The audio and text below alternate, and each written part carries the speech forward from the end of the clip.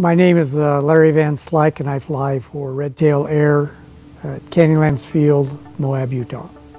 Years ago, doctor at that time told me, he said, your eyes are too bad, you, you can't do it.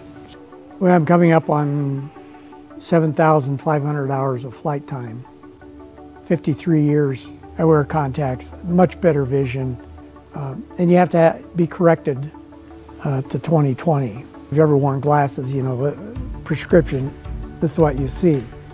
You know, contacts, everything is in focus. The geography that you're flying, you know, just spectacular.